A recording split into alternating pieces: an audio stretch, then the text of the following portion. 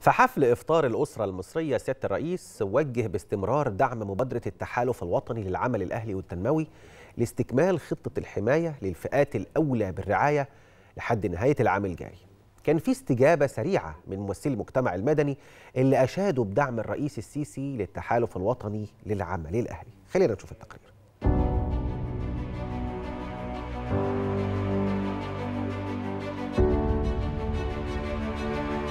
تكليف أجهزة ومؤسسات الدولة بالاستمرار في دعم مبادرة التحالف الوطني للعمل الأهلي والتنموي التي نفذتها خلال الشهرين الماضيين لتقديم الدعم والحماية الاجتماعية لعدد 9 ملايين أسرة مع قيام الحكومة بدعم التحالف بقيمة 9 مليارات جنيه حتى نهاية العام الجاري. أنا حابب أشكر سيادة الرئيس عبد الفتاح السيسي النهاردة على الدعوة الكريمة دعوة إفطار الأسرة المصرية. انطلاقا طبعا من دعوة الرئيس أن عام 2022 يكون عام المجتمع المدني. النهارده في بعض القرارات والمبادرات بدأ يطلقها سيادة الرئيس. ده هيؤدي إلى مزيد من العمل التنموي ومزيد من العمل المجتمعي في في الدولة المصرية. وبرضه في بعض القرارات أنا شايف إن هي برضه السياسية والمجتمعية دي هتخلي أو هتودي البلد في حتة ثانية خالص إن شاء الله بإذن الله. إحنا النهارده مش بنتكلم عن مجموعة زي أي حد إحنا بنتكلم كلنا مع بعض. كلنا دلوقتي سعداء جدا إن إحنا يعني الدعم الكامل لفخامه الرئيس النهارده والكلام اللي اتقال النهارده ده بيدينا كل الدعم وكل النشاط وكل القوة إن إحنا نتوحد كلنا مع بعض في التحالف الوطني وبنحدد أهدافنا وبنعمل مع بعض التنظيم. بشكر سيادة الرئيس كمان على القرارات العظيمة اللي خاص بيها التحالف النهارده وتخصيص ليه ميزانية واهتمامه الشخصي بهذا الموضوع عمل عظيم وكل ده هينصب لخدمة الفقراء ولخدمة المرضى المحتاجين ولخدمة الدولة كلها والمجتمع إن شاء الله. لفتة جميلة جدا إن في الإفطار الأسرة المصرية يكون ممثلي الجمعيات موجودين في إشارة إن العمل الأهلي داعم للعمل الحكومي وإحنا أطراف التنمية في مصر وأن يتم ذكر في خطاب السيد رئيس الجمهورية أن يتم ذكر التحالف الوطني للجمعيات وأن يتم رصد ميزانية. واهتمام خاص بهذا التحالف الوطني ده شيء عظيم جدا. مصر يعني القطاع الأهلي في مصر كده بياخد خطوه للأمام واعتراف كامل من الدولة بأهمية القطاع الأهلي في مصر وأهمية المجتمع المدني في مصر. والحقيقة دايما زي ما عودنا السيد الرئيس كل المبادرات بتكون اشتغلت على الأرض ونفذت قواعد بيانات سليمة من خلال الغرفة المركزية للحياة كريمة وده اللي ادانا النهارده كمان سعادة كبيرة جدا كل ممثلي المجتمع المدني إن في إشارة كبيرة جدا في الخطاب الأهم يمكن على المستوى الفترة اللي فاتت كلها إن التحالف بيخدم أكثر من 7.5 مليون مسجلين بقواعد بيانات لدى كل الجامعات الأهلية. ده إشارة كبيرة جدا وكمان بتعزز من دور المجتمع المدني والقطاع الخاص إنه يبدأوا يساعدوا مع بجانب دور الدولة بشكل أكتر. شكر تاني لكل أعضاء حياة كريمة والغرفة المركزية وكل أعضاء التحالف اللي الحقيقة كان في تجانس من أول يوم وعلى مدار الشهرين اللي فاتوا. قدرنا فعلا يكون في نتائج ملموسة من قواعد بيانات موجودة داخل قواعد بيانات التحالف الوطني. النهارده حققنا حلم كان كلنا تقريبا كمجتمع أهلي بنحلم بيه إن يكون في تحالف بينا إن يكون في تعاون مشترك بينا نقدر نخدم بيه كلنا المستحقين. وده أعتقد إن هو أحسن حاجة حصلت إن فخامه الرئيس النهارده دشن التحالف بصورة رسمية.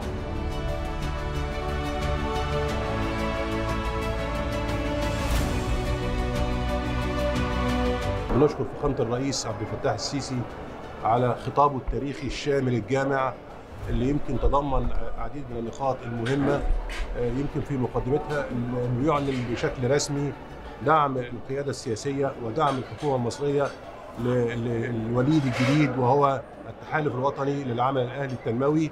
دي إشارة قوية جدا وهتدي قوة دفع للمرحلة القادمة لهذا التحالف اللي بدأ قويا.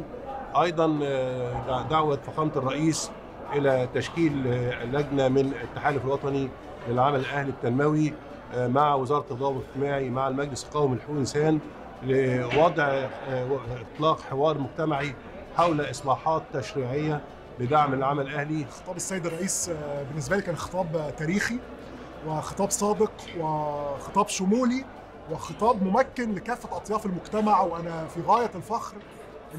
يعني تم ذكر المجتمع المدني وتمكينه بهذه القوة من سيادة الرئيس. آه، وسعيد إن إحنا في التحالف يعني بننحي مؤسساتنا جانبا وبنحط إيدينا في إيدين بعض. النهارده فخامه الرئيس ذكر حاجتين مهمين آه، تركيزه على القطاع الصحي والعمل الأهلي ال- آه، المجتمعي وإن دوت في حد ذاته هو شراكة وتفاعل وتكامل ما بين أطياف المجتمع لخدمة ال- المواطن المصري وإن هو لتمكين الخدمة الصحيه وخدمة مجتمعية أفضل. كان فخر إن سياده الرئيس يعني أثنى في الكلمة بتاعته على حاجتين أساسيتين حياة كريمة والتحالف الوطني للعمل الاهلي التنموي وكمان عزز على ده دعمه للمجتمع المدني وإزاي ممكن نطور ال- كل التشريعات الخاصة بيه واللي بتخلي فيه معوقات تقابل المجتمع المدني فده فخر. وبصراحة يعني فخر في ظل قرارات كتير ظهرت كلها كلها جميلة وحلوة في يوم إفطار الأسرة المصرية. سعداء جدا. النهارده بكلمة السيد الرئيس في إفطار الأسرة المصرية عن التحالف الوطني للعمل الأهلي التنموي ودعمه الكبير للتحالف وثنائه على المجهود اللي تم في المرحلة اللي فاتت. بالذات إن التحالف الحمد لله بدأ عمله الفعلي يمكن من منتصف شهر مارس الماضي قبل موسم رمضان وتم التنسيق على أعلى مستوى بين المؤسسات الأعضاء التحالف عشان العمل يخرج بشكل تشاركي والحقيقة الكلام اللي النهارده السيد الرئيس قاله يعتبر دفعة كبيرة جدا لينا عشان نقدر نستمر. وبالإضافة طبعا لدعوته الكريمة التحالف الوطني للعمل الأهلي التنموي بالتعاون مع وزارة التضامن الاجتماعي ومجلس قومي لحقوق الإنسان يطلقوا حوار مجتمعي آه، للخروج بمقترحات إصلاحات تشريعية مرتقبة لقانون العمل الأهلي. دي كمان دعوة كريمة جدا. الحقيقة سعداء بشكر سيادة الرئيس على آه، دعمه التام للمجتمع المدني السنة دي وبشكر كل القائمين على التحالف الوطني آه، للجامعات الأهلية لأنه ده كان حلم لينا كلنا إنه يتم توحيد دور المجت... الجامعات كلها مع بعض في دور واحد عشان نقدر نخدم أكبر عدد ممكن. مفيش حاجة اسمها يا هنا يا هنا. إحنا كلنا مع بعض. كجمعيات أهلية وكمؤسسات إحنا هدفنا واحد. إحنا نيتنا واحدة. نيتنا إن إحنا عايزين نساعد إخواتنا عائلتنا مش مش مش, مش عايزين نساعد حد إن إحنا يعني لأ دول عيلتنا دول إخواتنا ده دي بلدنا.